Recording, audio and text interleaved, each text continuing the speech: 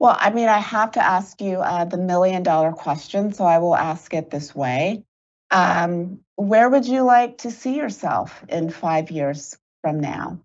Oh, the five-year question. I mean, I'm very, I'm a, I'm a very creative person at the moment. Like I always said, you know, I like doing what I'm doing here British Vogue, um, as well as sort of dealing with. Now I have to look after the European Vogues, England, you know, England, Spain, Germany, Italy, and France, and working with these young editors kind of gets me really, really excited.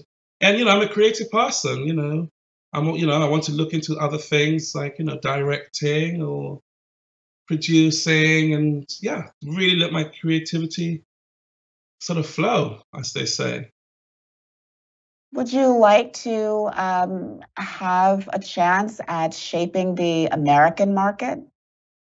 I mean, I think you know Anna does a very great job doing what she does, and as I said to her the other day, I said, you know, I am not after your job, but we work very well together, and I'm really happy where I am right now.